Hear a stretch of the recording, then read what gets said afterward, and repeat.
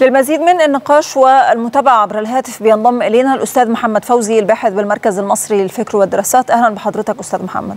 أهلا بحضرتك يا فندم. يمكن يعني العالم كله بيتابع أو زي ما إحنا شايفين إن نتنياهو وفريقه بيوظفوا أو بيحاولوا إن هم يوظفوا الموقف الدولي الرخو والموقف الضعيف دعني أسميه لتنفيذ المزيد من الجرائم بحق الشعب الفلسطيني. توقعاتك للقادم خاصة ونحن في انتظار قرار من محكمة العدل الدولية مع هذه المطالبة أيضا من الوزير الفلسطيني أو وزير الخارجيه الفلسطيني أستاذ أحمد. أهلا بحضرتك وبالساده المشاهدين. طبعا يعني إحنا النهارده بنتكلم على ما يقارب ال 100 يوم من العدوان الإسرائيلي على قطاع غزة. بنتحدث عن جملة من التطورات المتسارعة بشكل يومي. لكن خلينا نقول إنه عندنا بعض المحطات الرئيسية بعضها بيرتبط بالتطورات الميدانية والسياسية في الداخل الفلسطيني وبعضها الآخر بيرتبط بالتفاعلات الإقليمية والدولية المحيطة بهذا المشهد والمصاحبة له. إذا كنا بنتحدث عن يعني التطورات الداخلية الخاصة بالمشهد الفلسطيني أو حتى بالبعد الآخر المتمثل في الحراك الإقليمي والدولي المحيط بهذه التطورات فإحنا بنتحدث عن يعني اتجاهين لا ينفصلان ويؤثر كل منهما في الآخر. يعني عندنا على مستوى الداخل الفلسطيني عمليات إسرائيلية عسكرية متواصلة على قطاع غزة. وجدنا في الأيام الماضية بعض التحولات التكتيكية على نمط العمليات العسكرية الإسرائيلية وده تجسد بشكل واضح في سحب العديد من الألوية العسكرية الإسرائيلية من قطاع غزة والتي تحوي في جعبتها يعني آلاف ومئات الجنود الإسرائيليين. وجدنا بالتزامن مع ده عودة لتكثيف القصف الإسرائيلي على قطاع غزة سواء من خلال سلاح الطيران أو من خلال الزوارق البحرية التي قصفت ساحل قطاع غزة وجنوب وسط القطاع في أكثر من مناسبة. هذه التغيرات العسكرية يعني أعتقد إنها بترتبط بشكل رئيسي ب يعني تنامي حجم الخسائر في الجيش الإسرائيلي على الرغم من طبعا الفاجعة الإنسانية والخسائر المدنية الكبيرة داخل قطاع غزة إلا أنه ده لا ينفي طبعا حجم الخسائر الكبيرة في الجيش طبعا. الإسرائيلي خصوصا إذا ما وضعنا في الاعتبار أننا يعني نتحدث عن حرب بين جيش آه نظامي آه قوي أو بيوصف بأنه واحد من آه أقوى أربع جيوش في العالم. في مواجهة مجموعات مسلحة غير نظامية متمثلة في الفصائل الفلسطينية. فهنا الحسابات العسكرية ومعادلات الربح والخسارة بتختلف.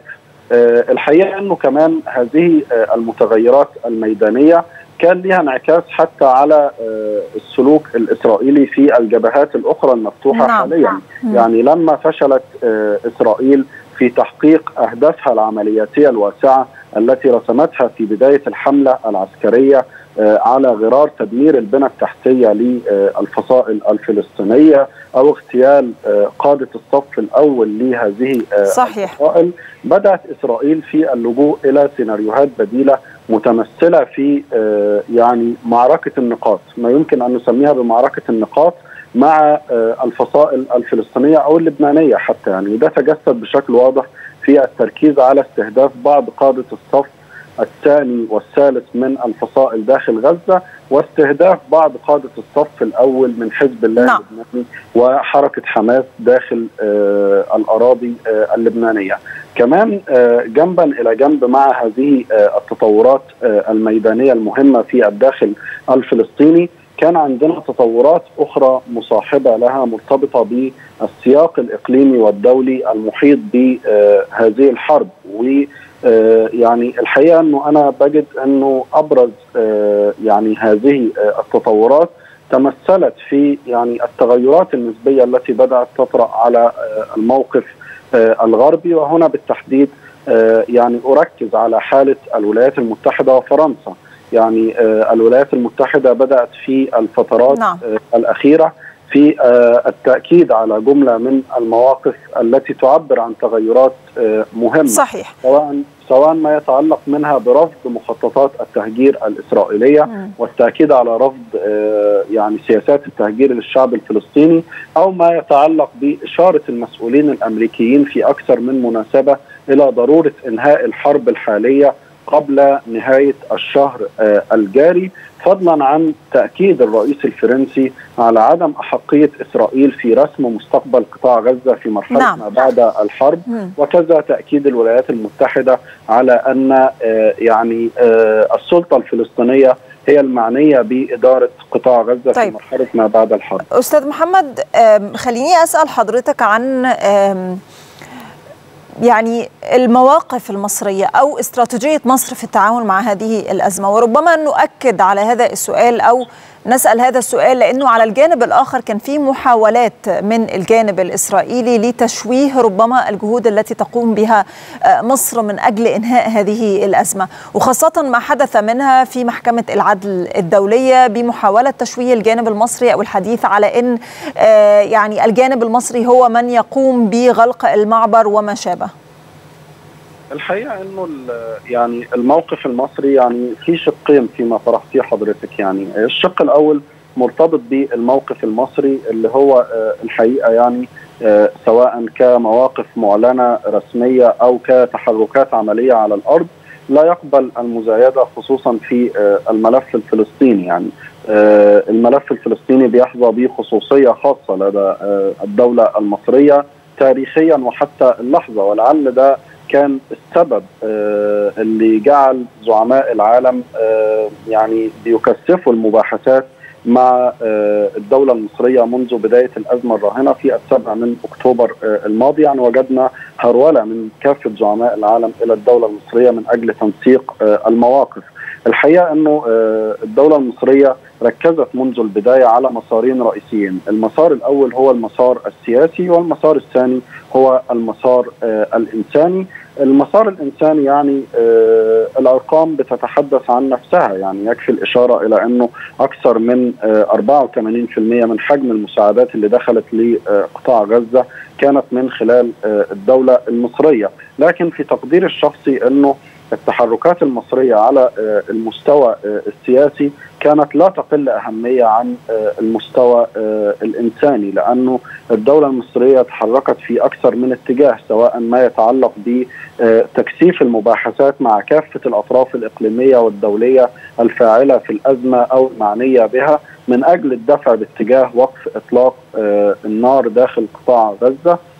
الدولة المصرية تحركت أيضا على مستوى بناء سردية واضحة وصريحة ومباشرة تجاه الأحداث التي تشهدها يعني التي يشهدها قطاع غزة منذ السابع من أكتوبر عبر التأكيد على أن ما يحدث هو جرائم إبادة نعم. جماعية والحقيقة أنه أهمية هذا الاعتبار ارتبطت بوجود سردية إسرائيلية انساقت وراءها العديد من الدول الغربية بأن ما يحدث يأتي في إطار رد الفعل، فكانت السردية المصرية تؤكد دائما على أن ما يحدث هو جرائم اباده وأن أحداث السابع من أكتوبر كانت نتاجا لسياسات متطرفة تبنتها حكومة اليمين المتطرف الإسرائيلي على مدار الأشهر والسنوات نعم. الأخيرة أوصلت م. الأوضاع إلى نقطة صحيح الانفجار. الادعاءات الإسرائيلية في محكمة العدل الدولية في تقديري أنها كانت محاولة ل الهروب إلى الأمام من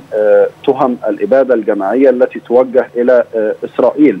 يعني الدولة المصرية يعني بالنسبة للادعاءات اللي روجتها إسرائيل. فالحقيقة إنه في جملة من الاعتبارات المهمة اللي بتفند وتبين كذب هذه الادعاءات سواء ما يتعلق ب صحيح. إن مصر لديها السيادة على معبر رفح من الجانب المصري فقط. ولم تقم بإغلاقه منذ بدء الأزمة الحالية في السابع من أكتوبر الماضي. م. يعني آه الوفود الأممية نفسها ورؤساء وقادة العالم آه اللي زاروا معبر آه رفح رأوا بأعينهم إنه معبر رفح مفتوح من الجانب المصري. وكمان في بعض المسؤولين الأمميين اللي, اللي رأوا كمان بأعينهم استهداف إسرائيل للمعبر من الناحية الفلسطينية. نعم صحيح. يعني أنا الدولة الم... أنا طبعا يعني الحقيقة الحديث عن المساعدات التي قدمت للجانب الفلسطيني من قبل مصر الحديث عنها الحقيقة لا ينتهي أستاذ محمد لأن فيما يتعلق بمسار المساعدات مصر عملت على قدم وساق بنتحدث عن أكثر تقريبا من 13 طن مساعدات تم إدخالها إلى الجانب الفلسطيني من قبل مصر. بنتكلم عن أن المساعدات التي قدمت إلى الجانب الفلسطيني 75% منها من مصر و25 منها فقط من دول العالم. فأنا سأكتفي بهذا القدر والحقيقة بشكر حضرتك. شكرا جزيلا على كل ما تفضلت إليه من تفاصيل. الأستاذ محمد فوزي الباحث بالمركز المصري للفكر والدراسات كنت ضيفي عبر الهاتف. شكرا جزيلا لك.